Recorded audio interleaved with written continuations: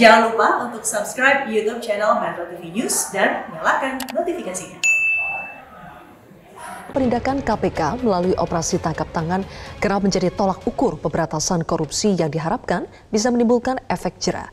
Namun Menko Kemaritiman dan Investasi Luhut Binsar Panjaitan tidak sependapat dengan pandangan tersebut. Ia menilai OTT tidak efektif menekan angka korupsi, apalagi menciptakan efek jerah. Hal tersebut disampaikan Luhut dalam acara peluncuran Stranas Pencegahan Korupsi 2021-2022 secara virtual. Luhut mengapresiasi pimpinan KPK di era Firly Bahuri yang tidak mendahulukan OTT.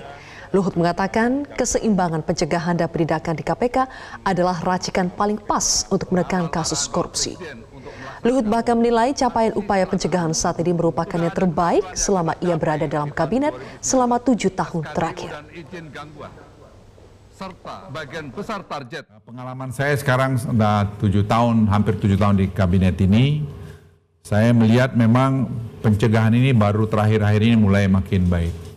Dan itu menurut saya hal yang sangat penting, tidak sekadar OTT. Karena OTT-OTT itu sudah kita lihat tidak juga membuat orang jerah. Dan kalau kita lihat juga, maaf kalau saya bicara agak terbuka, OTT sendiri pun menurut saya buahnya juga tidak juga seperti yang kita harapkan orang jadi kapok, enggak juga. Tapi pencegahan ini yang menurut hemat saya sekarang dikedepankan oleh KPK dan dari awal saya juga selalu mengedepankan ini karena pencegahan itu menurut saya lebih penting. Kita jangan biarkan orang terjerumus kalau masih bisa kita ingatkan.